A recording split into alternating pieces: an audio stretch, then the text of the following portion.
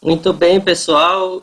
Boa noite a todos. Gostaria de dar as boas-vindas nesta neste webinar que vai tratar hoje do tema os 10 anos de adoção das IPSAS no Brasil. O artigo da revista FPECAF, das autoras Maiara Sasso e Patrícia Varela. Essa, esse é o terceiro webinar da revista que a gente vem realizando o webinar ele fica gravado, então é, vocês podem assistir depois. É, fica no nosso canal do YouTube da FIPECAF. E, mas nós temos agora a oportunidade, primeiro, de ouvir uma breve exposição das autoras e também depois os que estão participando aqui puderem fazer suas perguntas, poder dialogar sobre o tema com as autoras, então tem sido uma experiência bastante rica de aproximação entre leitores e autores da revista. E, e fica essa oportunidade, esse conteúdo aí depois para que a gente possa consultar e possa promover os eixos temáticos da revista. Hoje, nosso eixo temático é contabilidade governamental e terceiro setor. Lembrando que nós estamos com, aberto, com, aberto, com chamada aberta permanente para a revista, então aqueles que tiverem interesse em submeter seus artigos é, acessem o site da revista. Depois eu posso colocar aqui o link para submissão, para facilitar. Quando as autoras estiverem falando, eu, eu vou compartilhando aqui alguns links para é, dinamizar aqui o nosso chat, tá? Então, quem quiser fazer a pergunta, escreve aqui no chat e aí eu vou é, depois organizando aqui e repassando na segunda parte da nossa, do nosso webinar. Então, é, a Maiara Sasso, a quem agradeço o convite, é, aceite o convite para estar aqui conosco. A Maiara que é uma pesquisadora de contabilidade governamental, desde a graduação, mestrado, agora ela está no seu doutoramento, desenvolvendo uma tese em contabilidade governamental, é professora é, dessa cadeira na FIPECAF. Então, Maiara, muito obrigado, bem-vinda.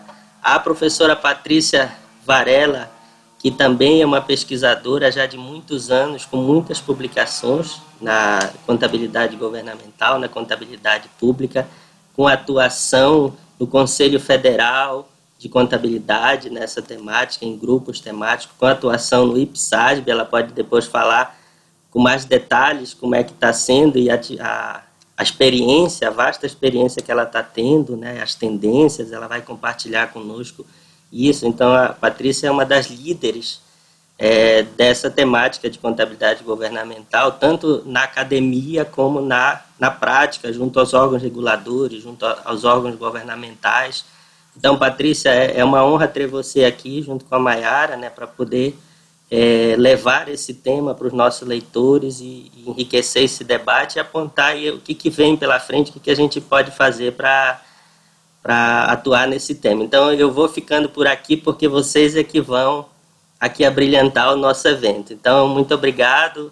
É, então, eu passo a palavra aí para, acho que a Maiara né, vai falar primeiro e depois a, a Patrícia. Então, qualquer coisa aqui eu estou à disposição para lhes auxiliar, tá?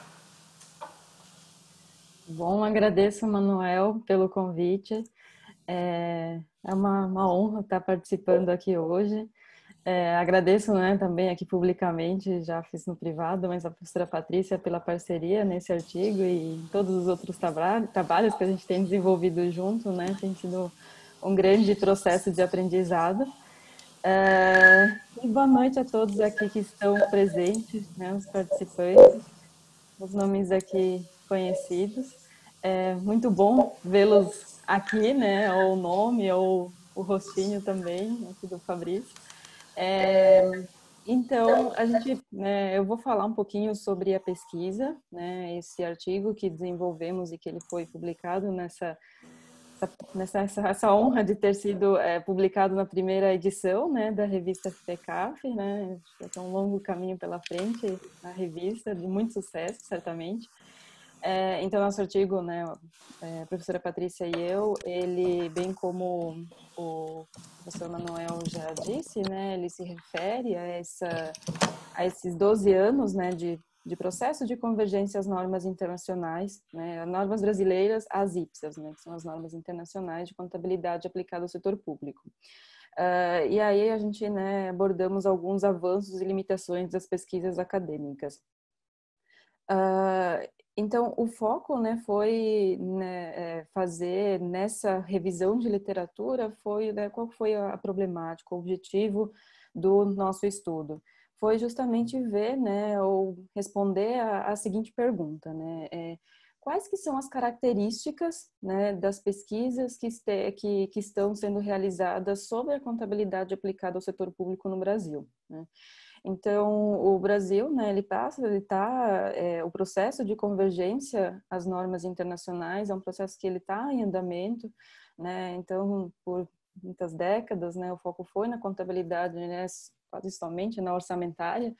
Uh, então, com todo esse processo de convergência, uh, o intuito da nossa pesquisa, a motivação foi né, verificar um pouco, fazer um levantamento né, de quais são as características desses, dessas pesquisas que têm sido publicadas.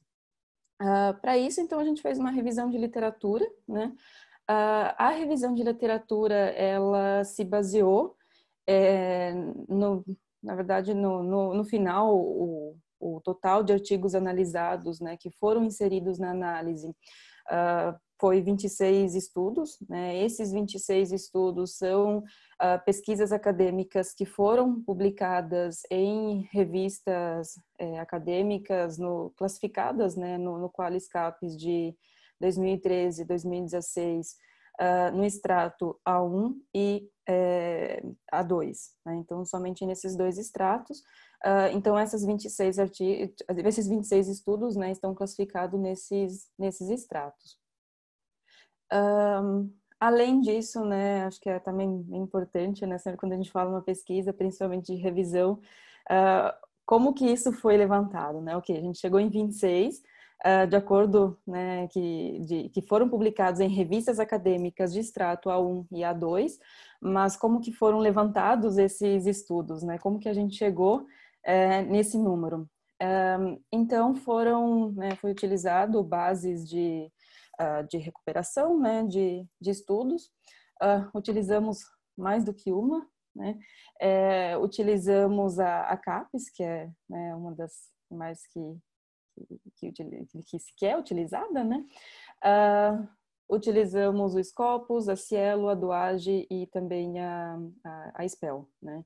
Uh, e além disso, né, se na leitura dos artigos, né, até a gente usou aquela né, a técnica a abordagem de, de bola de neve, né, de snowballing. Então, se a gente constatava que tinha algum artigo que estava sendo citado, que aparecia nas referências e que não tinha sido localizado por meio dessas, uh, dessas bases né, de localização inicial das pesquisas, essas, né, esses estudos adicionais também foram inseridos na, na, na nossa análise. Uh, então, né, partindo um pouco nos resultados, que acho que é o, né, o, o principal, é, esses 26 estudos, eles, a gente né, agrupamos eles em três, três períodos diferentes de tempo. Né? Até estudos que foram publicados até 2008, é, estudos entre o período de, né, no período de 2008, de 2009 a 2015, até 2015, ao final de 2015, e estudos a partir de 2016. Por que, que fizemos essa, essa segregação, né, ou essa classificação em três, uh, em três períodos diferentes? Uh, porque até 2008 era o período que o Brasil ele já tinha, né, tinha, eram, ué, tinha as 10 normas que foram uh, publicadas inspiradas nas normas internacionais, ou seja, que utilizaram as normas internacionais como ponto de referência né? Então as normas não estavam, né, não eram é, convergidas totalmente da maneira que é hoje, né, uma convergência uh, no formato indireto, né, estratégia utilizada. Mas até em 2008, então, se tinha essas normas uh, e, por isso, né, que uh, fizemos essa segregação. De 2009 até 2015 é, é o período, né, que os procedimentos contábeis patrimoniais ainda não são obrigatórios no Brasil, né? Mas é, se inicia o processo já de mudança com a edição, é, né, com a implementação do plano de contas, né?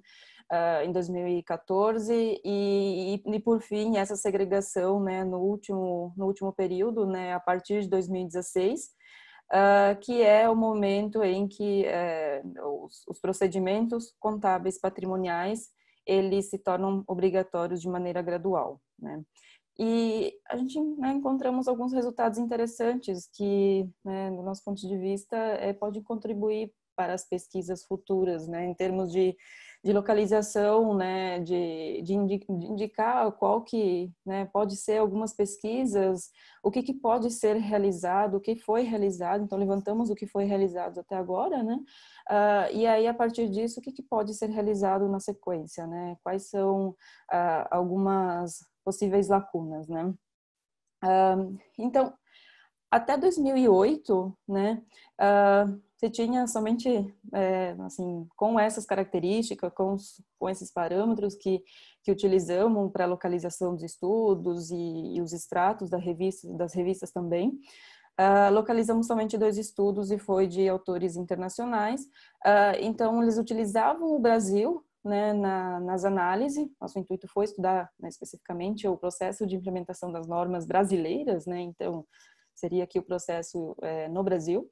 Uh, então, esses dois estudos é, utilizaram, analisaram o Brasil, mas era em conjunto com outros países. Tá? Uh, então, né, a análise do Brasil era principalmente, né, o Brasil era considerado nesses estudos uh, para identificação do estágio em que se estava, né, da, da implementação, ou melhor, fazer uh, uma comparação, né, do que tinha sido adotado uh, em confronto com o que a norma indicava, determinava de uh, demandava, né, de adoção até aquele aquele momento ou até em, na, na IPSAS 1, né, que é a IPSAS de apresentação das, da, das demonstrações contábeis. Um, a partir de né, a partir de 2008 até o final de 2015, as pesquisas acadêmicas elas né, têm tanto de pesquisadores nacionais e internacionais. E um ponto né, que, que assim, não só aqui na nossa área, mas é, é, pela, pelas técnicas de pesquisa que os pesquisadores nacionais em comparação aos internacionais utilizam, né? Então, os pesquisadores nacionais, eles têm mais essa oportunidade, né? E a gente é, identificamos isso nas, nas pesquisas, que é, se utiliza mais de dados primários, né? Uh, isso é, é, um ponto positivo em relação, né, porque até tem o contato mais com o objeto de estudo, né, então uh, se tem a possibilidade de fazer a coleta dos dados, né, tá mais próximo ao objeto de estudo, a unidade de análise, uh, e, as, e, os pesquisadores internacionais, eles é, utilizavam, né, novamente, o Brasil em conjunto com outros países, então quase sempre era no governo central que se realizava essas pesquisas, né? Mas, né, é, também tem dificuldade de se fazer pesquisas com dados primários, que aí fica, uh, depende da, do tempo, depende da aprovação, né, depende do aceite de quem está sendo entrevistado, por exemplo, né? Uh, e isso é um fator de, né, um fator de, que dificulta né, a coleta e até a realização das pesquisas. Mas também, em contrapartida, a gente pode pensar que esse período de 2009 a 2015 é um período em que não se tinha muitos dados secundários já disponíveis também para fazer a pesquisa, né? Então, é uma característica do próprio momento uh, do estágio da implementação das normas brasileiras, né? Então, a gente pode pensar também, né, ver como é, sobre essa perspectiva, né, de desse uso majoritariamente, né, é, de dados uh, primários em detrimento aos dados uh, secundários. Um, outro ponto que, que é interessante, né, e que é uma particularidade, né, dos, do, dos, dos estudos publicados entre 2009 a 2015 é que é, foi só nesse período que identificamos um, pesquisas científicas que uh, analisaram temas, né? Por exemplo, teste de uh, imparidade, a questão de custos, elaboração do, do orçamento público com base, no, com base no regime de competência. Uh, então, são temas específicos, né? E pesquisas desse período, 2009 a 2015, abordavam esse tipo de temática, né? E já a partir de 2016, uh, esse tipo de, de, de, de estudo, né? Uh, então, com foco ali principal no, Uh, em temas específicos já não é algo que foi uh, que foi verificado, né? A gente não conseguiu levantar essas pesquisas, né? Então as pesquisas a partir de 2016 elas uh, elas analisam mais ou contribuem mais com a estratégia de implementação, né? Então analisa até tem pesquisas que analisam a percepção dos atores é, é, como que os atores, então, contadores públicos, é, se veem nesse processo. Até a gente tem um dos pesquisadores aqui, né, o, o Fabrício, que é, tem uma pesquisa bem interessante, né, que eles publicaram em 2009. Fabrício, me corrija se não for isso. Foi 2019, né? É, né? 2019 com o professor Aquino, né? Que indica, né, que os canais de, difusão, né, dos próprios é, dessa, dessa comunicação, dessa, dessa mudança né, contábil, uh, é as empresas de software, né? Então, em locais é, um pouco mais isolados, né, que é Bahia, Minas Gerais, esses municípios bem mais distantes, né? Como que essa mensagem da comunicação da mudança contábil chega ao contador? É por meio das empresas de software, né? Então, são pesquisas que trazem resultados e contribuições bem relevantes né, para se analisar a estratégia, uh, como né, esse processo pode acontecer, e uh, só que é, o foco não é nos tem, em temas específicos, né? Então, por exemplo, ativo uh, imobilizado, talvez até a questão dos ativos culturais. Então, não são temas que são ali com frequência abordados na literatura aqui da, da contabilidade aplicada ao setor público no Brasil. Né? Então, são. Uh, e esse tipo de pesquisa também poderia gerar inputs relevantes, né? bem significativos para o, para o processo. Né? Talvez seja uma questão de, de time, né? daqui para frente a gente vai começar a ver, mas é o que a gente viu, né? a gente constatou por meio da revisão uh, da literatura. Tá? Uh, eu acho que esses são assim os, os principais uh, pontos, né? Eu acho que vale a pena abrir para as perguntas e de começar um debate, né? Só, né? Fiz um, breve resumo aqui do que, que uh, do que encontramos, né? E de algumas de algumas possibilidades de pesquisa, né? Não falei da questão de, de, de teorias. Vou passar a palavra para a Patrícia, que né, ela tem também para falar um pouco sobre isso. Muito obrigada, eu queria agradecer a possibilidade de estar aqui. É uma grande honra ter o artigo né, na revista número zero, é, de ter feito com a Mayara.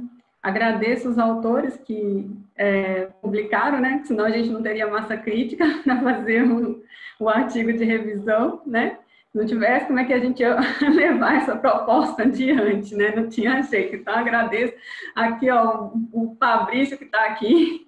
Muito obrigada, viu, Fabrício? Na verdade, é um grupo de pesquisa que o Fabrício participa, é bastante ativo, muitas publicações. Professor Ricardo Aquino, é, tem um, o André, né, que não é o André Aquino, né, Fabrício? Então, tem vários pesquisadores que realmente contribuíram aí para que a gente tivesse essa massa crítica, né? Tanto os pesquisadores nacionais quanto internacionais. É, e também dizer o seguinte, é muito difícil publicar, né? Porque quando a gente fala de é, periódicos na área de contabilidade, não necessariamente a gente consegue publicar em todos, né? Não são todos que... Ah, que aceitam artigos que são da área pública e mesmo os que aceitam, às vezes, eles uh, utilizam as mesmas métricas, né, que são utilizadas para as outras áreas da contabilidade e a gente não, né, a gente, nós temos as nossas especificidades. Então, existe uma dificuldade, né, existe aí um, um labor maior para conseguir realizar a publicação, né? Então, mais parabéns ainda, né, para aqueles que nos permitiram é, ter essa massa para poder fazer a publicação. Bom, o que eu tenho percebido é, como mais nas minhas atividades relacionadas com os normatizadores e também nas minhas atividades acadêmicas, mais como avaliadora e também nas, nas minhas tentativas de publicação, né?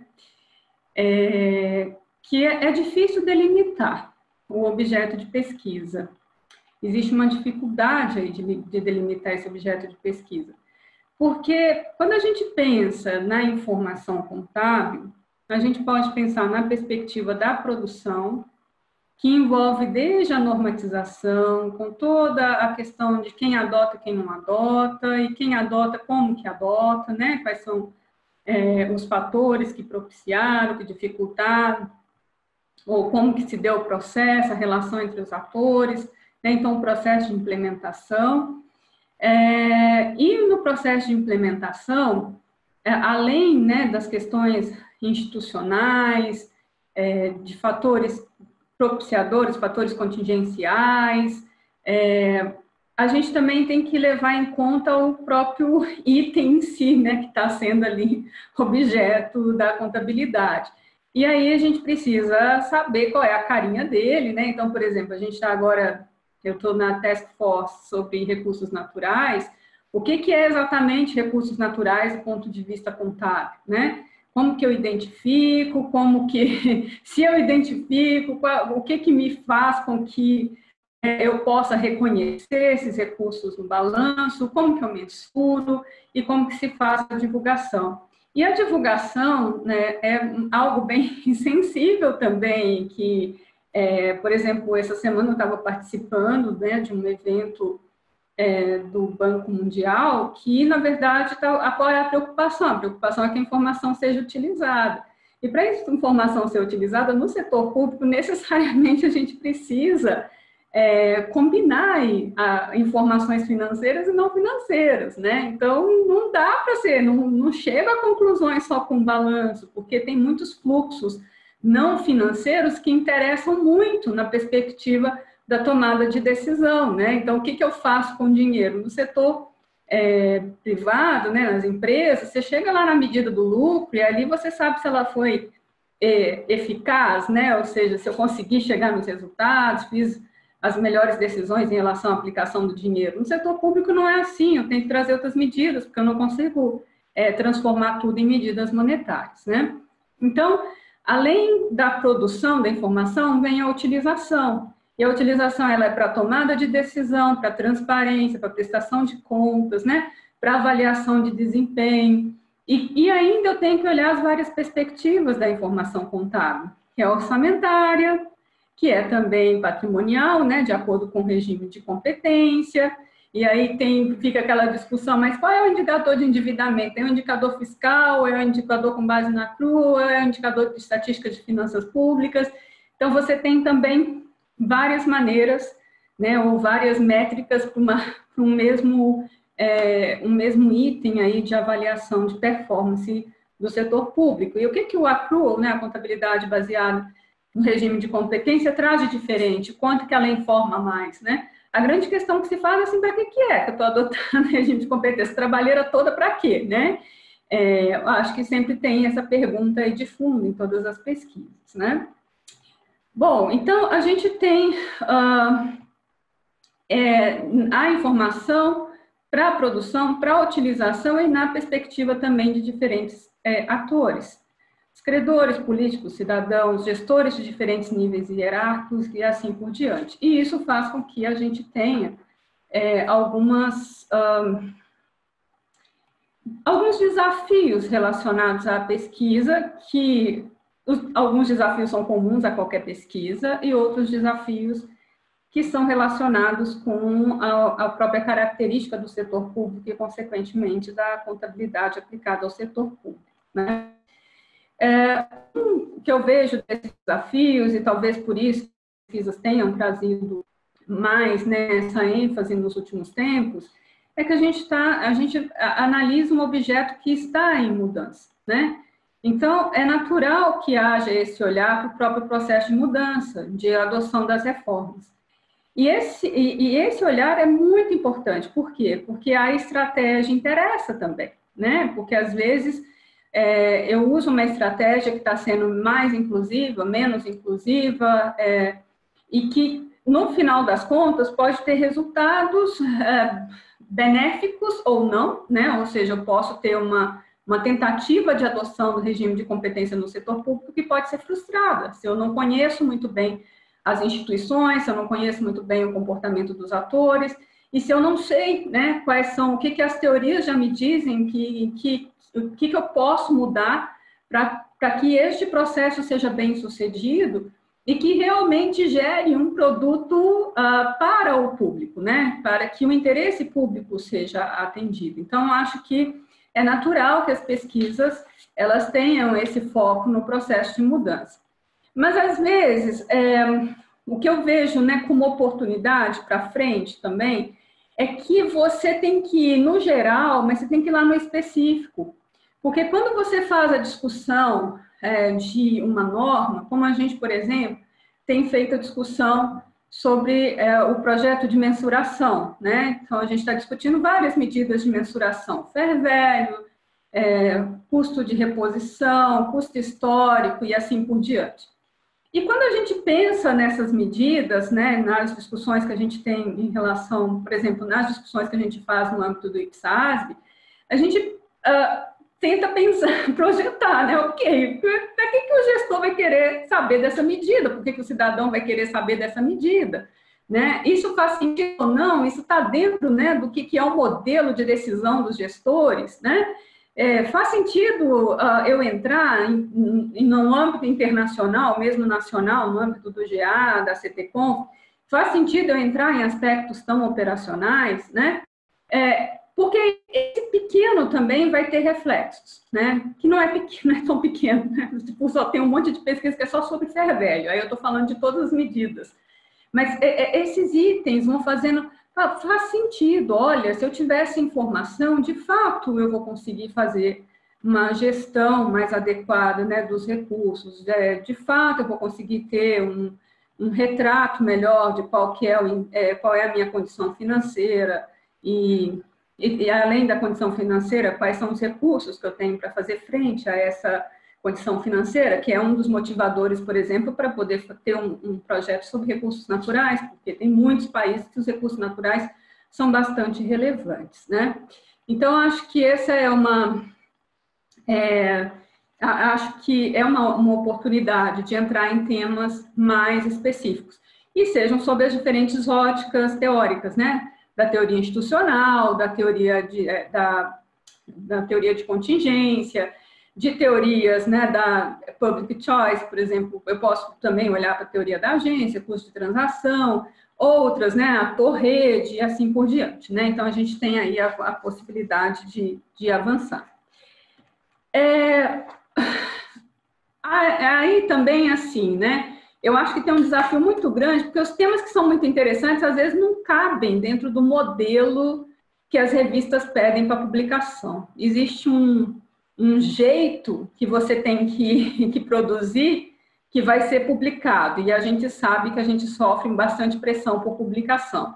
Então, às vezes, a gente até queria fazer de maneira diferente, aquilo ali poderia gerar resultados mais interessantes para o processo de normatização, para o processo de adoção, para o processo de implementação, mas não cabe, né? não, não cabe dentro dessa nossa abordagem predominante na contabilidade, mais especificamente na contabilidade aplicada ao setor público.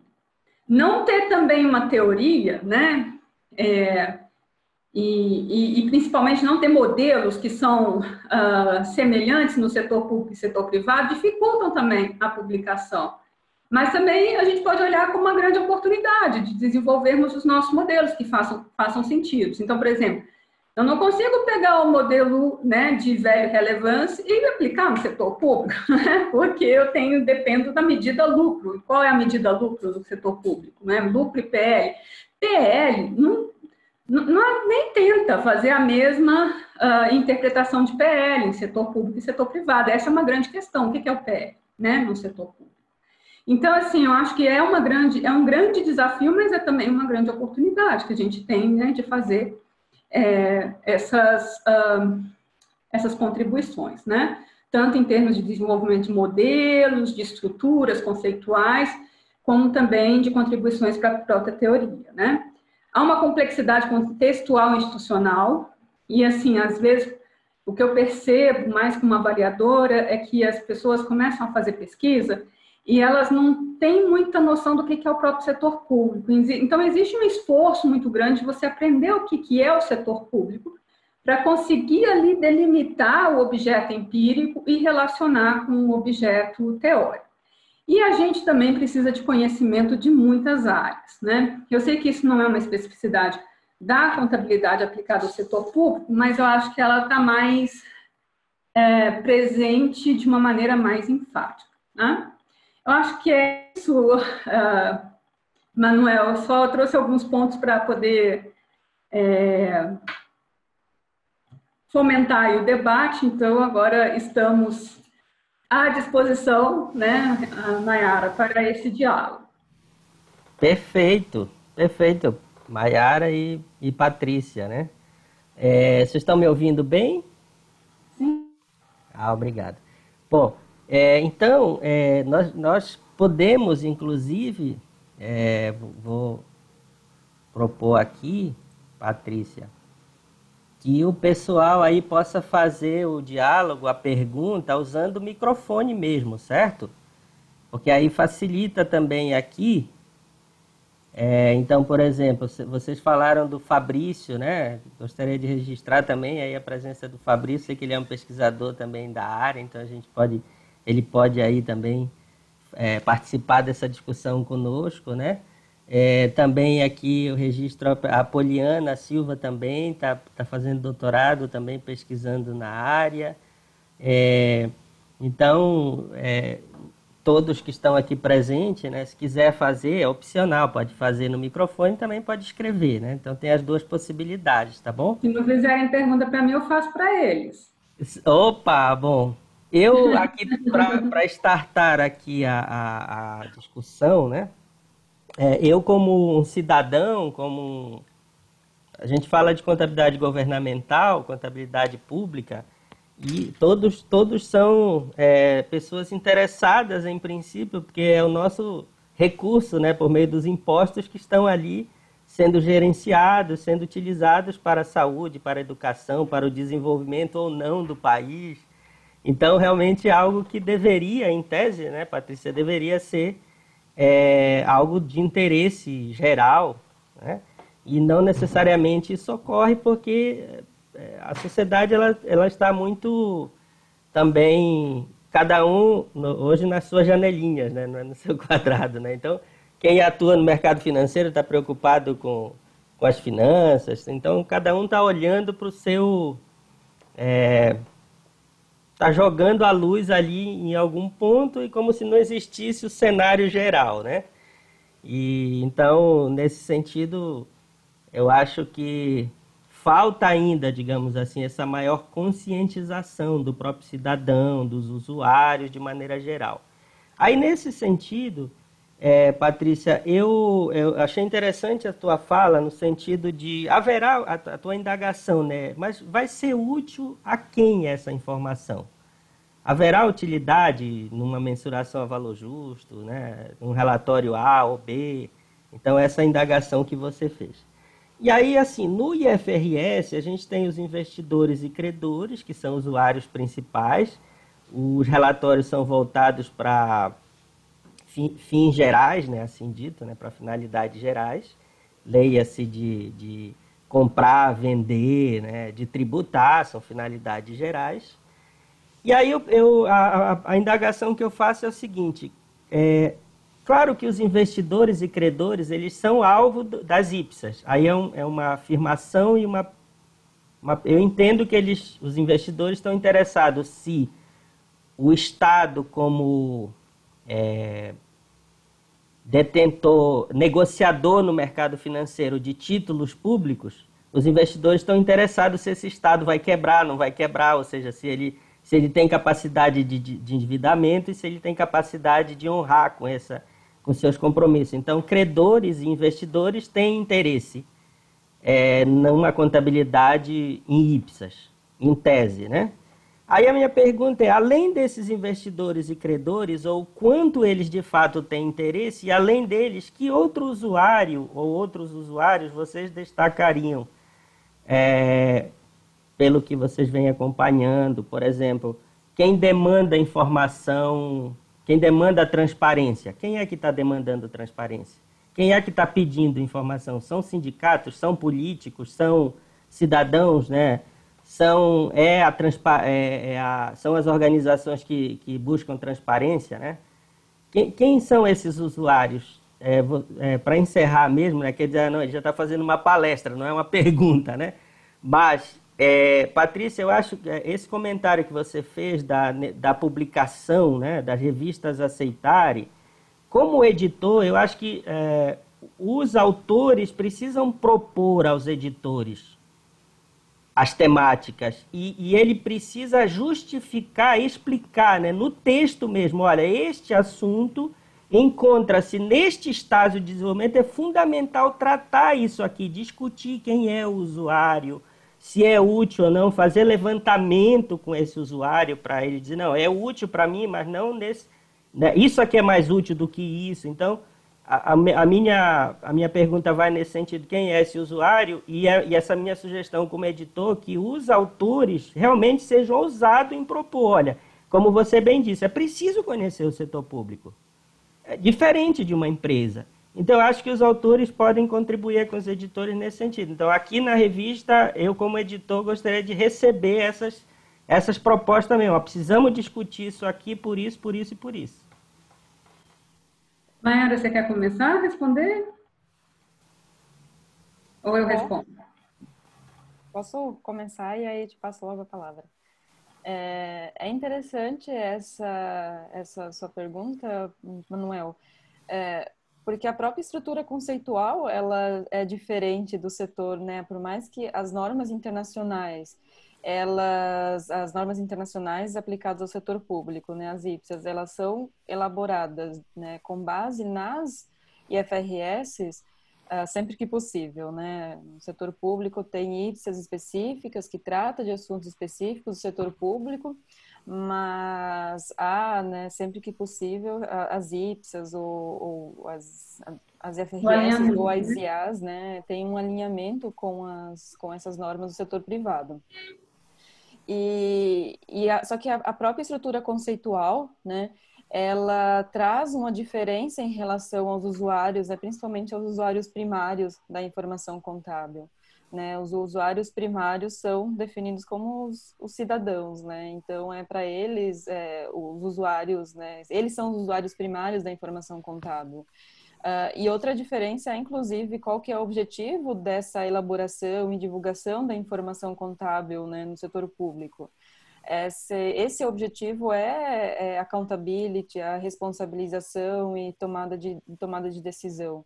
É, o que diferencia a, a estrutura conceitual, né, o CPC 00, uh, da NBC TSP Estrutura Conceitual do setor público, né? Uh, então é, é, uma diferença importante. Agora eu, eu passo a palavra para a Patrícia, né? Eu sei que ela vai fazer algumas comentações bem interessantes. Não, apesar de os cidadãos né, serem os usuários primários, é difícil chegar até eles, né? Eles não vão pegar balanço. Aliás, para falar a verdade, tem um monte de estudante de contabilidade que passa pelo curso inteiro e nunca leu um balanço, ou leu só quando fez análise das demonstrações contábeis, né? A gente está falando de estudante de contabilidade.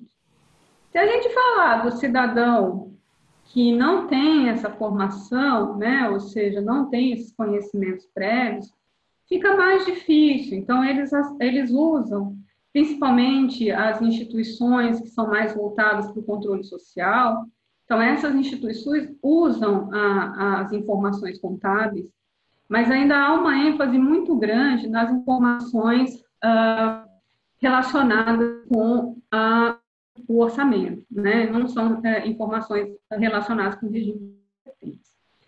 É, eu falo que regime de competência no setor público é neném ainda, ele é muito nenenzinho, sabe? É muito bebezinho. porque tem pouco tempo né, que a gente começou a ter o processo de normatização internacional. Se a gente olhar, Mayara me ajuda aí com os números, né? Quantos países que adotam regime de competência? Não são tantos países que adotam regime de competência, né? É, a gente tinha 38 em 2000 e 2018, né? 38 em 2018, 39? Era 37, né? E é para ir, é isso em 2018, né? E aí em cinco anos, né? Ou seja, a perspectiva é que a gente tenha 98, né? E a, o, a, as IPSAs vão ser usadas como referência para 72. É, essa é a expectativa. Então, há um, crescente aí no, na adoção do regime de competência. Mas há essa, essa, essa, esse crescente, mas sempre com a pergunta, né? É, para que, que eu estou realizando o regime de competência? É, é claro que quem está envolvido no processo acredita pelos conhecimentos, não é só uma questão de crença, né? Eu acredito, não é não, é porque a gente entende que o regime de competência ele amplia o escopo daquilo que é contado, né?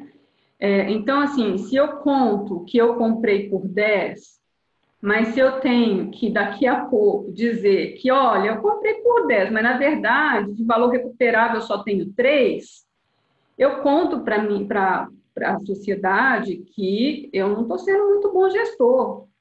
A não ser que eu consiga justificar muito um evento assim, né? uh, muito inesperado que fez com que o valor recuperável saísse de 10 e fosse para 3. Então, é claro que quando a gente adota o regime de competência, não é assim uma inocência, ah, é porque eu quero, né, ou, ou, uma vaidade, eu quero regime de competência. Não, não é isso, não. É porque a gente realmente, quando olha, a gente fala assim, olha, amplia, né? E eu vou parar, por exemplo, de ficar olhando de curto prazo, que é o que acontece. Hoje, quando a gente faz análise de endividamento, a gente faz análise de endividamento de curto prazo, né? Bom, uh, mas daí a ter, né, é, a, a, a identificação, reconhecimento, mensuração e divulgação e ser utilizado, tem um caminho aí enorme, né? Bom, o que, que eu posso dizer hoje? Posso dizer hoje que você tem uma qualificação de algumas informações que já divulgados. É, os tribunais de contas, eles têm um papel fundamental nessa cobrança. A partir dessa cobrança, né, dos órgãos de controle externo, então, as, os gestores também, eles se mobilizam, né, porque, na verdade, a gente depende muito desse apoio da gestão, e às vezes a gestão se mobiliza porque há o controle é, externo, ou as entidades de controle social também, né, que passam a cobrar, por exemplo, tem o controle social da dívida, então passa a cobrar informações, então elas têm um papel fundamental. É, mas o que eu digo um, é assim, o contador, ele também precisa saber, sabe? Ele tem que ter esse estalo, falar, ah, agora o gestor precisa da informação, vou lá e vou entregar para ele. E neste momento que a gente está vivendo de crise, com certeza eles vão precisar de muita informação. À medida que você entrega essa informação, ela passa a ser mais utilizada. Mas aí você precisa também ter uma formação diferente, né? O contador não senta, faz, vou lá, faço o trabalho inteiro, que é isso que acontece. Vou lá, tem uma norma, ah, tá vou fazer porque estão me cobrando. Vou lá e faço, né? Vou lá e identifico os imóveis, estabeleço metodologia para fazer depreciação e ponto. Eu acho que tem essa preocupação também em fazer com que a informação chegue até, até, até quem vai tomar a decisão. Essa semana, semana não, semana passada, né, Mayara? A gente estava conversando, né, que a Alemanha não adota o regime de competência, né? E ela tem uma situação é, fiscal sólida, né? E um dos nossos uh, é, estudantes lá de doutorado, desculpa, qual é o nome? Eu, agora eu esqueci. Eu péssimo para nome. Nossa, mas peraí, depois eu lembro. Mas, enfim, um dos estudantes, ele questionou, ele falou, é, mas o problema é o seguinte, que quando você fica só com medida fiscal, você não consegue ver se está sendo tudo deteriorado, assim, se né, está sendo tudo sucateado, você não consegue ver.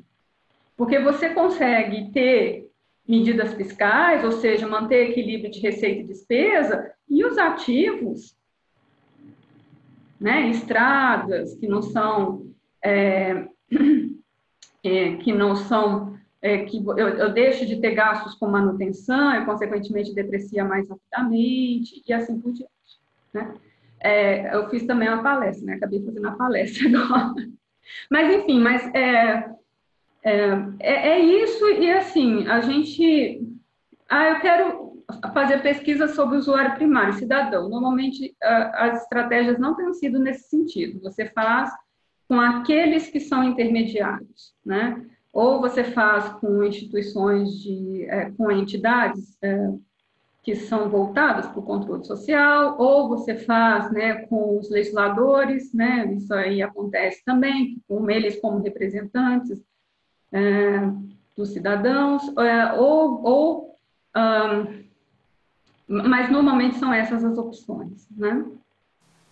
Perfeito. Não, mas aí você pode fazer a palestra. Eu aqui não posso fazer a palestra. Você pode fazer. É, você está fazendo a palestra. E tem, é, é, e tem toda uma linha também de saber assim como é que, que é uma linha interessante, né? A gente está falando aí de possibilidade de estudo. Uhum. É uma linha assim, como é que se eu apresentar de maneira diferente, será que as pessoas olham de maneira diferente? Né? Eu acho que está tendo uma preocupação muito grande nisso, não é só no setor público, no setor privado também, né? Então, tem pesquisa no setor privado, quem está fazendo uma pesquisa nesse sentido é o Luciano, tem se dedicado no nosso grupo.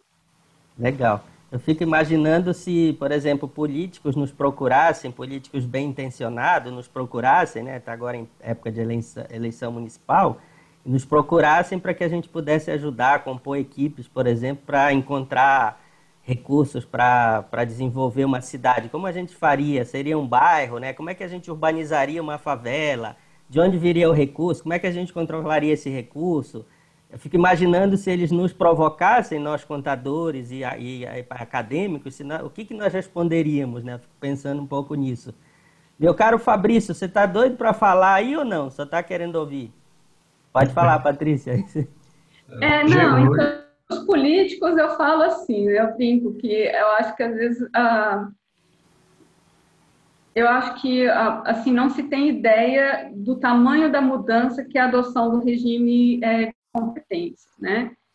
E talvez se tivesse ideia desde o início, não deixava institucionalizar isso, porque na verdade contabilidade não é controle. Quando você amplia o que conta, você vai controlar mais ainda, né? Então assim, para o político que é sério, eu acho que ele vai adorar, porque eu, a gente vai ter possibilidades de indicar caminhos, né?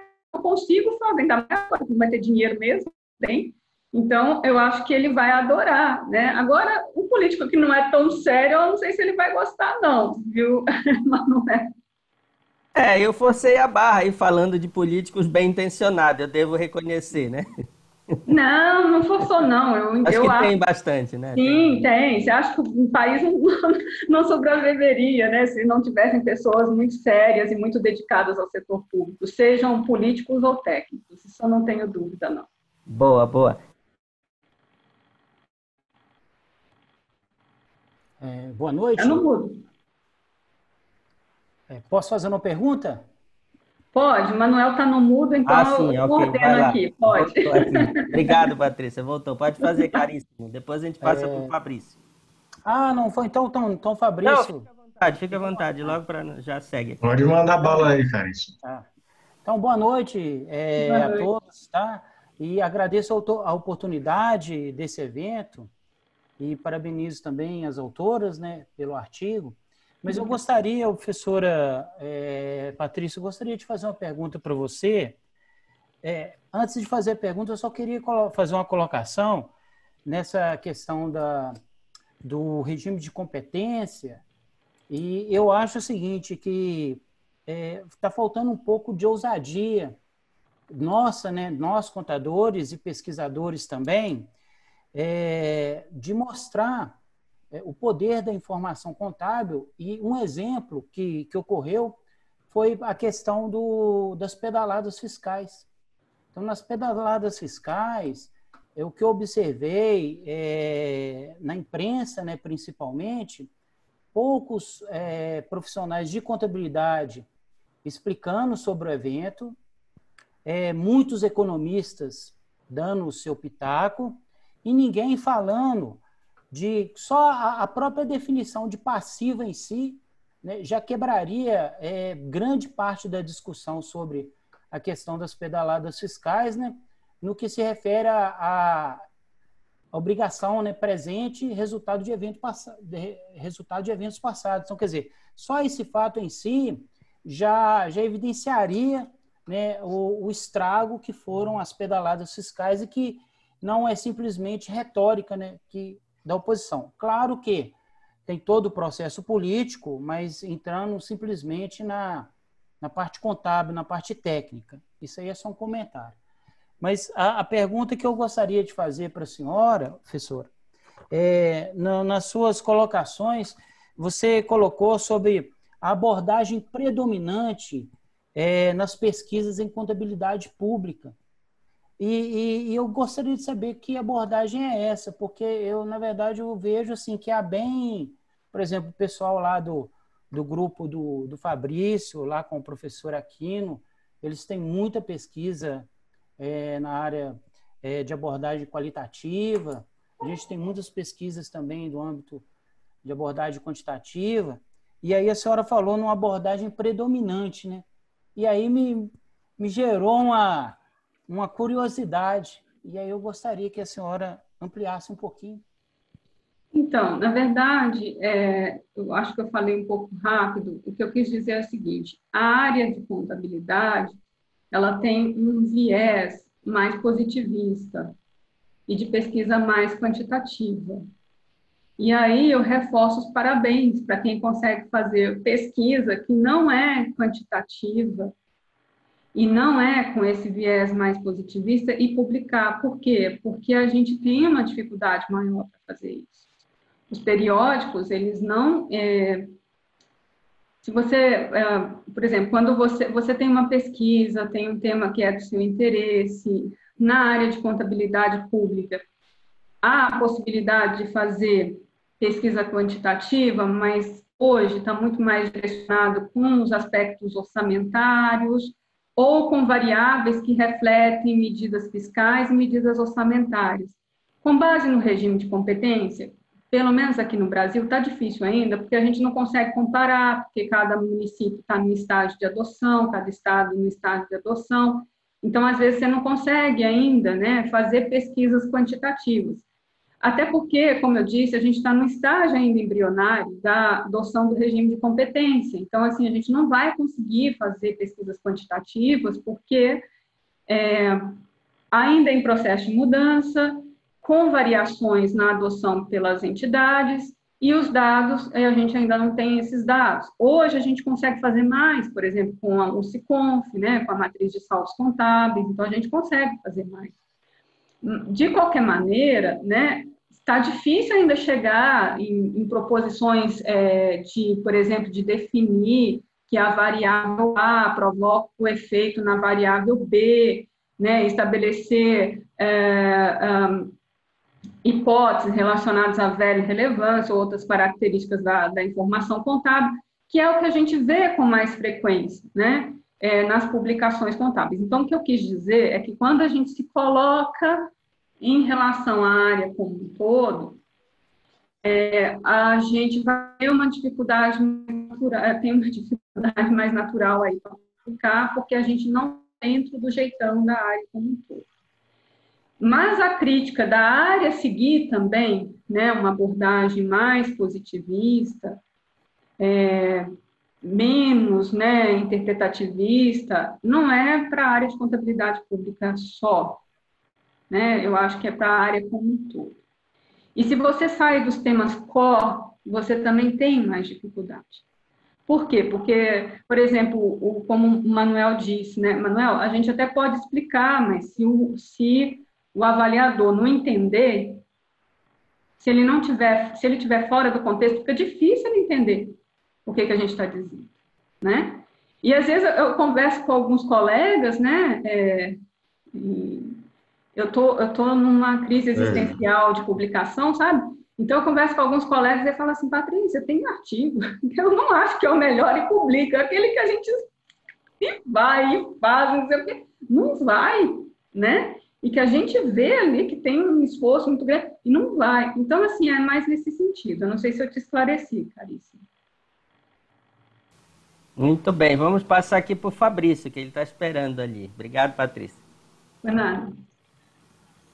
Boa noite a todos, obrigado, Manuel, pelo convite, pelo chamamento aí agora, né? Parabenizar as colegas aí, a Mayara e a professora Patrícia também pela publicação e ficamos muito agradecidos todos no grupo, pudemos ler também, a gente compartilhou lá e ficamos muito contentes também de estar citados no trabalho de relevância como de vocês, né? Pegando um pouquinho do gancho ali, a gente sabe da, da dificuldade de fazer a pesquisa na área pública, em especial, né? Por conta da dominação que a gente vê da área privada, né? Grande quantidade de, de publicações que, que existem e a gente é primeiro entrar, fazer uma discussão do setor público de um nicho específico dentro da contabilidade pública, realmente ela é, é só para quem é guerreiro. Então a gente tem um grupo de guerreiros aqui para que possam, né?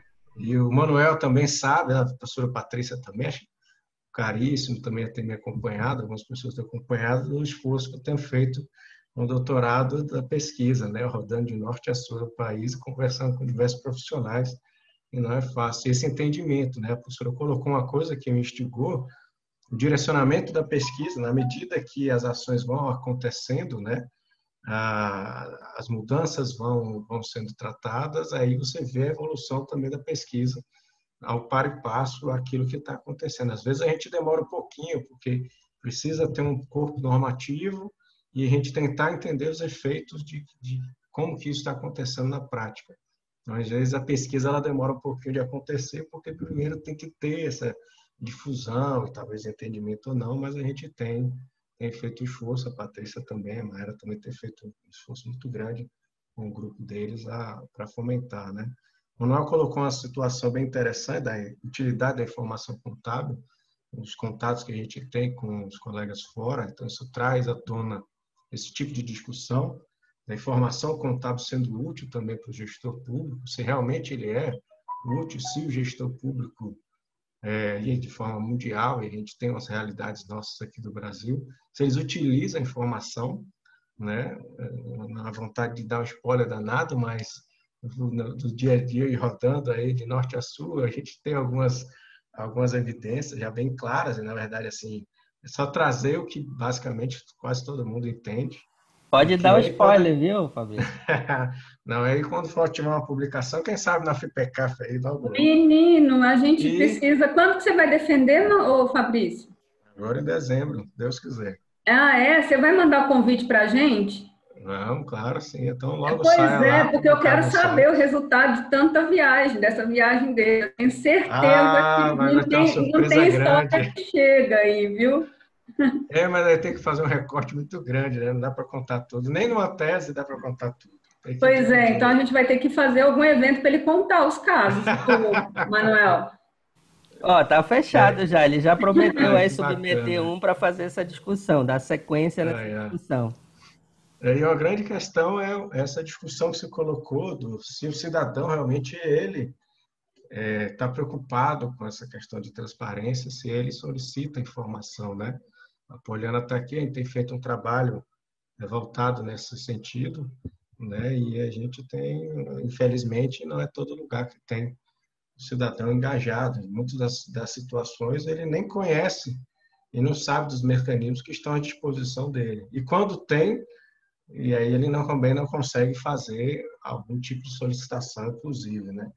A gente teve a oportunidade de conversar diretamente com o cidadão e e a gente viu aí essa dificuldade enorme, né, nos alguns rincões aí distantes dos grandes centros. Né? Então tem essas situações, mas aí você tem que definir, tem diversos nichos dentro do setor público que dá para ser abordado e tem discussão aí muito interessante. É, a gente pegou, pelo menos no grupo, alguns focos em, em relação à convergência, mas você tem a gestão pública, como a gente costuma chamar, o ciclo da, da gestão financeira, né? no setor público, você tem desde essas questões que a professora levantou de né, fiscais, questões de orçamento e as questões de contabilidade. E aí você tem a transparência, você tem controle social e por aí vai diversos assuntos tá? É, relacionados. E uma das questões que tem no grupo que a gente tem levantado nesse sentido era: será que é possível a gente ter relatórios populares, facilitar esse tipo de informação para a sociedade, né? Como que isso entraria? Então, tem aí um plano para muita coisa a gente desenvolver ainda no setor público. Agradecer sabe, mais uma vez aí. Quem sabe pensar na, na TV da contabilidade pública, alguma coisa assim, né? Quem sabe? É, na a verdade. É tem recursos, a gente mais, consegue fazer. Quanto mais gente a gente tiver pesquisando, melhor é, porque o que não falta é trabalho. E eu queria só fazer um relato, gente, eu estudo contabilidade pública desde a graduação, né? Então, desde é, vocês não vão ficar gravando, né? Essa informação não vai sair do vídeo, vai ser cortado. Brincadeira. Desde 97. Então, que eu tenho me dedicado à contabilidade pública, né? À pesquisa. Eu comecei lá assim, ah, balanço social. Então, como é que é o balanço social da área pública? Eu falei, ah, na verdade, tem que estudar orçamento, né? E desde aí eu fui estudando contabilidade pública. E aí eu queria só emendar, se puder, Manuel, posso? com as perguntas que foram feitas pela Poliana e pela Kelly? Isso, eu queria só saber se você já tomou conhecimento delas aí, que eu ia justamente fazer essa proposta de você comentar as duas. Sim, tá. Mayara, você quer comentar? Ou posso fazer o link e você complementa? Isso, pode fazer, depois eu ah, é, é assim, o que acontece é o seguinte, o que eu vejo é que a gente tem uma batalha, né, Poliana, bastante árdua para a gente conseguir colocar os conteúdos de contabilidade aplicada ao setor público no currículo. E a gente sabe que há uma complexidade muito grande, né, de, de entender o objeto e também de atuar em relação a este objeto, né. É, e assim, isso tem sido também preocupação em âmbito internacional. Isso tem sido feito, tem, tem ocorrido discussões né, nos comitês relacionados à IFAC, é, sobre como deve se ampliar possibilidade de formação do, do contador. Tem, é, tem aspectos que são comuns, então, saber métodos quantitativos, ter algumas das, das competências, das habilidades, né? Se você desenvolve uma disciplina, você leva para outra, né? Por exemplo, de comunicação, dessa dessa, dessa possibilidade de fazer uma apresentação clara, de trabalhar em equipe, de trazer, relacionar conteúdos diferentes, isso você desenvolve, isso você traz, mas tem ah, conteúdos específicos que não são abordados, né? Então, a sugestão, ou é que, ao longo do curso, você traga a, a perspectiva pública também, então, quando eu estiver falando de finanças, falar de finanças públicas, né? Quando eu estiver falando é, de micro, falar de micro na perspectiva de empresa, mas também falar de micro na perspectiva do setor público. Quando eu estiver falando de contabilidade introdutória, trazer o conceito de ativo, que é no setor privado, mas também trazer para o setor público, porque tem pequenas diferenças, né? Então, seria uh, você ter os conteúdos de pública, o contador, ele sairia com essa formação, tanto né, com a habilidade de atuar no setor privado e no setor público isso tem um custo elevado, né, que é de formação dos professores. Porque você teria que ter professores tivessem essa visão da, da, da área das empresas quanto da área pública. O que acontece é que, principalmente, a minha geração e algumas outras gerações, é, essa geração que atua com contabilidade pública conhece contabilidade privada também. Por quê? Porque a gente não tinha, por exemplo, possibilidade de atuar em cadeiras de contabilidade pública. Então, a gente acabou tendo essa formação. É, e hoje eu vejo que isso é muito importante nos, nos, nas áreas que eu atuo, né, principalmente de normatização. Mas não é, é a mesma coisa quem está no universo privado migrar para o universo público. Então, a ideia é que houvesse ampliação. E a ampliação da carga, quando se discute mesmo em, em nível internacional, não está em termos de disciplina obrigatória, assim, o que tem hoje não é disciplina obrigatória, mas se tem essa discussão de ampliação de carga dedicada à área pública, e às vezes essa discussão fica mais no âmbito da pós do que da graduação, né? E aí eu emendo com a outra pergunta que a Mayara depois complementa, que é o seguinte: se eu não tenho pessoas conhecedoras que tenham conhecimento mais aprofundado sobre o objeto, e aí o objeto, de uma maneira mais analítica, não vai fazer a pesquisa. Porque, assim, a gente tem muitos pesquisadores da área pública e que é, fazem pesquisas sobre é, contabilidade aplicada ao setor público, mas tem muitas pesquisas que estão no aspecto orçamentário. E não estão no aspecto orçamentário só porque é, os, é, é o que os, os meus dados permitem, sabe? Mas é porque também não tem este, é, este envolvimento com a contabilidade baseada no regime de competência. Não entra realmente né, no, no, no estudo, né? Então, assim, é, eu, eu, entendo das medidas fiscais, mas eu não entendo de fair value. Eu entendo de medidas fiscais, mas eu não entendo, não entendo de instrumentos financeiros. Né? Então, assim, eu acho que é, por isso que eu quis fazer esse link. Eu acho porque a gente tem essa, esse overview só, né? na verdade, que a gente faz na, na graduação é só um overview. Estou te mostrando que existe a área. Eu falo isso com os meus alunos. Falo, na verdade, eu vou contar para vocês que existe a área, mas depois vocês vão ter que aprofundar. Vocês não vão aprender contabilidade pública com duas horas de aula por semana, né? E aí, consequentemente, isso também faz com que a gente, eu, na minha visão, assim, não fiz nenhuma pesquisa, não é, não é uma afirmação científica, mas eu penso que é, talvez seja por isso. Ainda tem um viés, uma dedicação muito grande para os aspectos orçamentários, mesmo para aqueles que se dedicam à área pública. E aí, Mayara, se a Kelly pergunta também, né, sobre os aspectos e tal, aí eu queria que você comentasse que eu acho que está relacionado com a, a, o próprio devir aí, né, o próprio caminhar da área. Aí no, no comentário da Mayara, é, vai então, o que a gente vai ter é uma especialização, então, seria um caminho mais, mais imediato, assim, seria isso? Porque a gente não está pensando em uma graduação específica. É isso que eu entendi da tua fala, né, Patrícia? Então, não, a gente acha que deveria ter uma graduação específica. Ok, mas eu estou dizendo né? assim, só que não está assim, na pauta, né? É, só que assim, a gente uh, não somos maioria, a gente não é área porra. Okay. né? A gente não vai conseguir falar, olha, né? Então, assim, mas se vocês pegarem, tem um mapa, um documento que é feito pelo IPSASB, que mostra as diferenças das normas, do quanto que elas, elas se afastam das IFRS para tratar aspectos específicos do setor público, é que a quantidade de conteúdo é bastante relevante, né? É, o que a gente deseja é ampliar a carga para os conteúdos da área de contabilidade pública e que não é uma formação de contabilidade só, não é só fazer débito e crédito de acordo com o regime de competência, mas é uma formação mais ampla, passando desde os aspectos econômicos, organizacionais, né? Então, que, que isso viesse é, olhando também o setor público. Exatamente.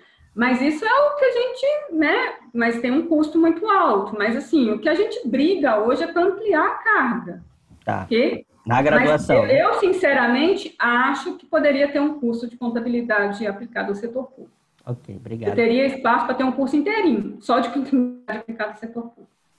Concordo plenamente, é, é, é, tanto na sua resposta em relação a isso, quanto na, na outra, aqui já abordando um pouquinho a questão da Kelly.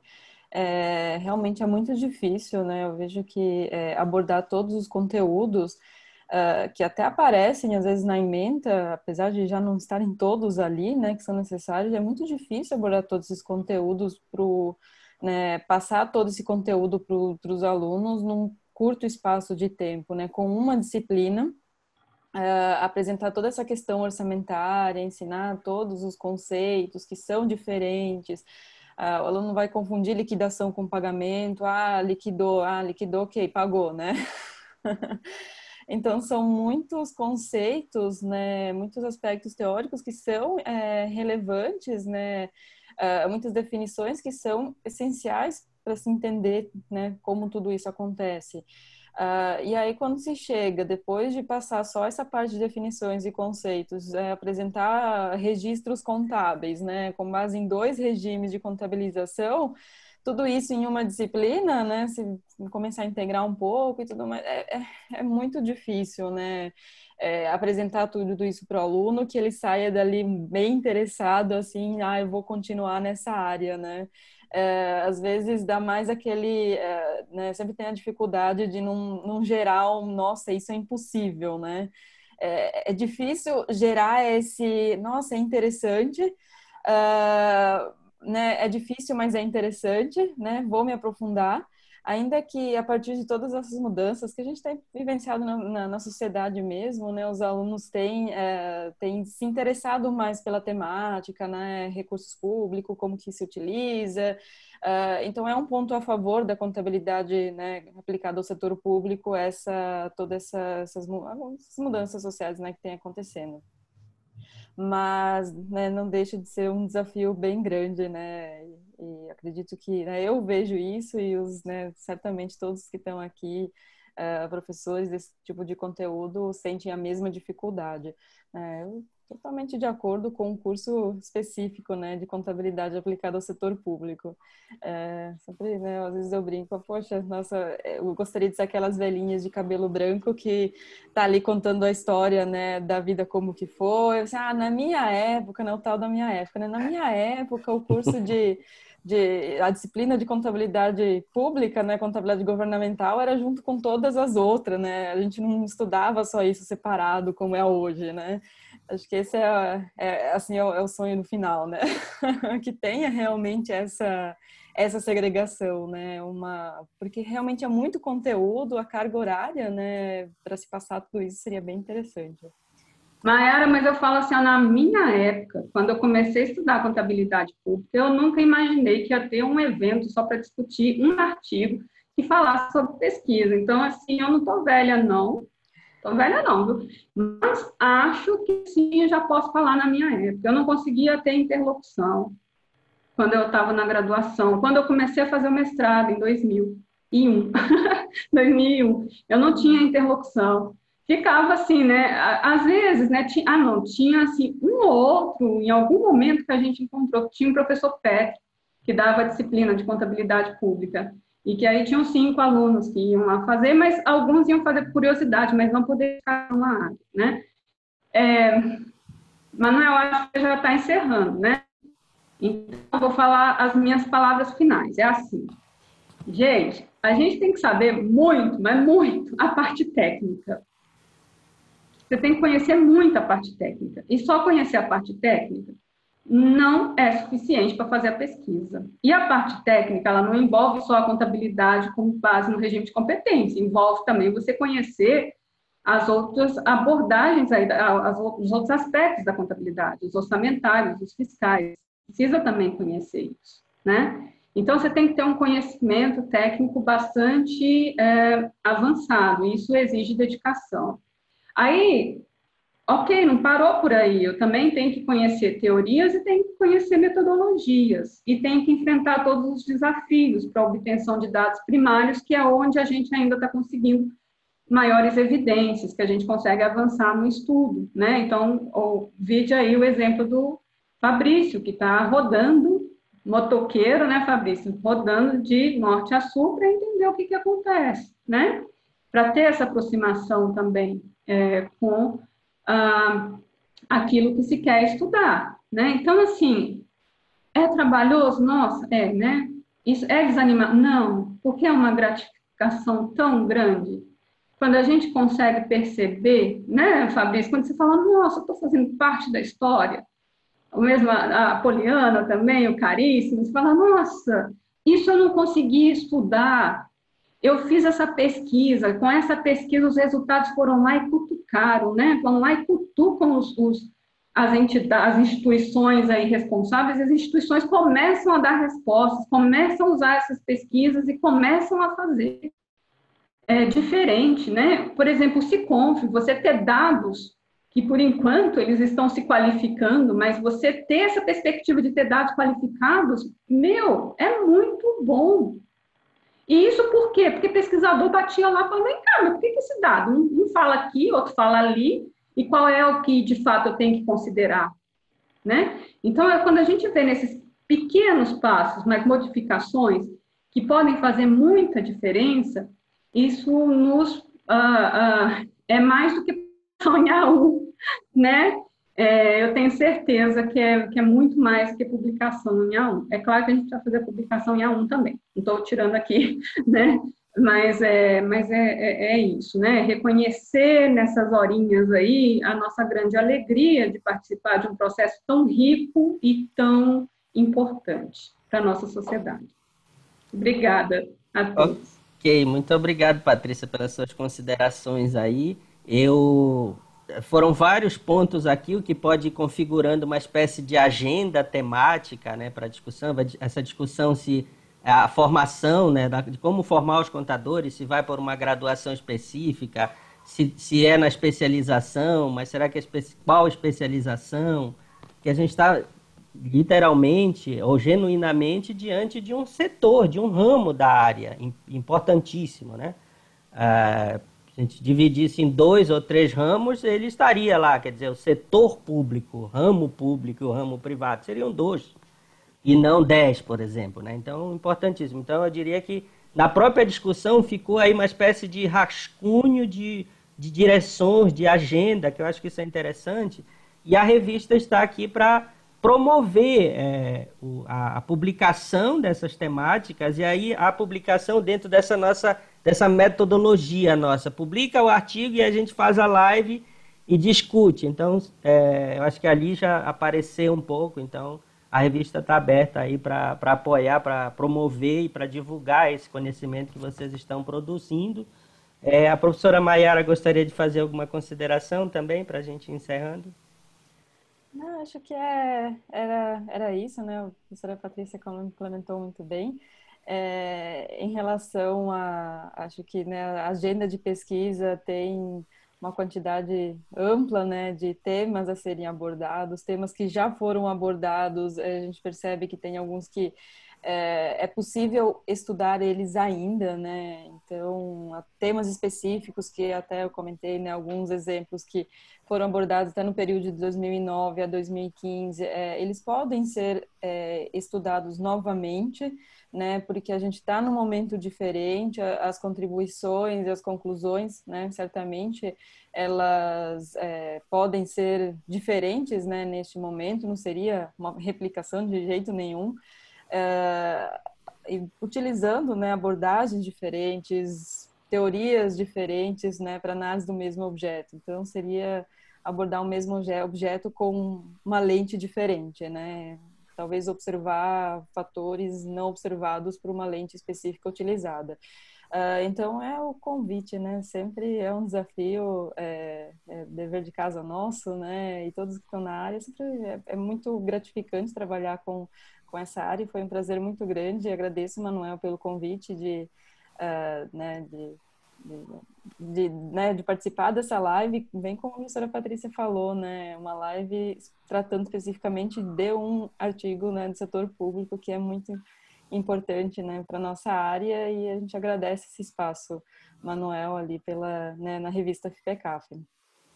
Muito bem, eu é que agradeço a disponibilidade de vocês, a presença aí de pesquisadores da área, né, de participação de todos. Como eu falei, esse conteúdo vai ficar gravado, a gente vai promover o vídeo, compartilhar com outros também.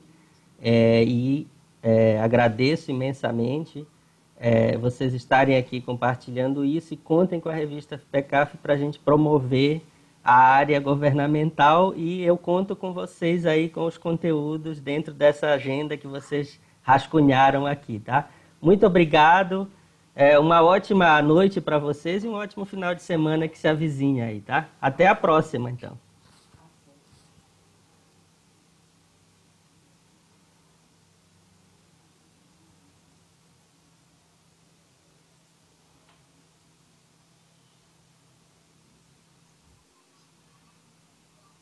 Muito bom, Manuel.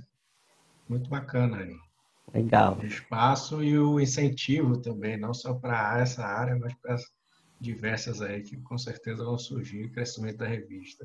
Perfeito. Grande abraço para ti, boa noite. Um abraço. Aguardo você nas próximas. Quem sabe como autor. Com certeza, também espero. Um abração. Um abraço.